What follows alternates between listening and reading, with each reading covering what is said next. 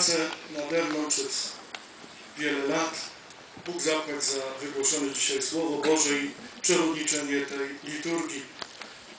Bóg zapłać wszystkim kapłanom, wszystkim koncelebransom, także wszystkim kapłanom obecnym. Pragnę gorąco podziękować za obecność Bractwu Kurkowemu na czele z królem, marszałkami. Bóg zapłać także za poczynione fundacje. Bóg zapłać wszystkim gościom, przedstawicielom władz samorządowych, przedstawicielom miasta, wszystkim obecnym politykom, także przedstawicielom świata nauki, moim przyjaciołom z Uniwersytetów Krakowskich. Bóg zapłać za obecność wszystkim pielgrzymom, zaproszonym gościom, także wszystkim parafianom. Na końcu chciałem podziękować Bractwu Świętego Jakuba, Radzie Parafialnej za przygotowanie tej dzisiejszej uroczystości, także tego, co czeka nas jeszcze przy skromnym stole, na który po koncercie zapraszam wszystkich gości, wszystkich pielgrzymów, wszystkich, którzy dzisiaj do nas tutaj przybyli. Bóg zapłać tym, którzy uświetnili tą naszą uroczystość, tym najmniejszym muszelkom, chórowi, także orkiestrze. Bóg zapłać służbie liturgicznej i wszystkim, którzy wspólnie z nami się modlili, w tej uroczystości uczestniczyli.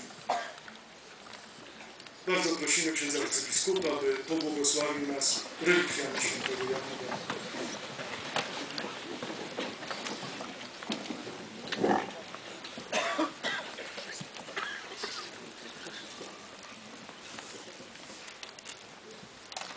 Całego serca błogosławię.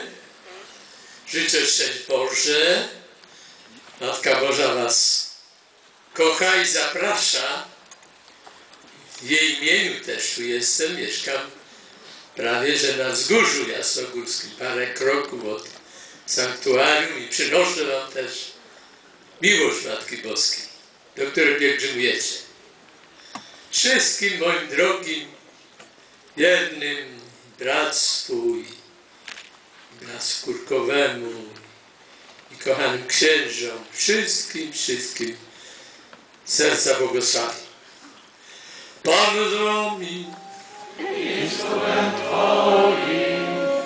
Niech imię Pańskie będzie błogosławione. Wspomożenie nasze w imieniu Pana. Stworzył błogosławi Bóg Wszechmogący, Ojciec i Syn i Duch Święty.